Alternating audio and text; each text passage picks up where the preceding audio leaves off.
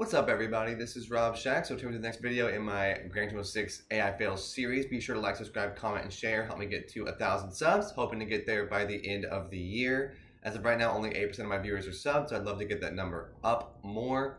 Uh, I'll stop asking once I get there. So, yeah, this is a great video today. Um, as I raise money for max speed tests with all the cars that I want to in this game, I do AI fails. So, I basically just cause mayhem with all the AI because although they are improved, in five and six from four, I still like to hit them and cause problems. So I pick a fast car and just destroy people. I uh, start right here by hitting the Suzuki Escudo, and he just goes spinning and spinning forever.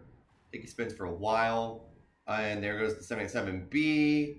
Actually, let me pause it and look at that. I think he's just getting, okay, so the 77B is getting obliterated. Okay, so I didn't even realize that this happened. I didn't realize how far down, how far down this went. I'll, uh, I'll show that as again. I'll show that from the beginning in a second. Um, that's pretty funny. I did not realize it.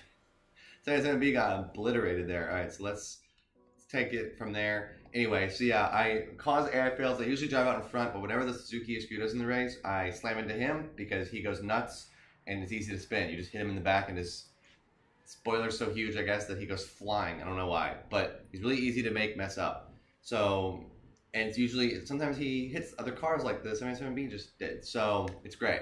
I'll show everybody who crashes when we get to the main corner. I also turn around at the corner and then just destroy everybody. So I'll show that. There's a lot to see in this race.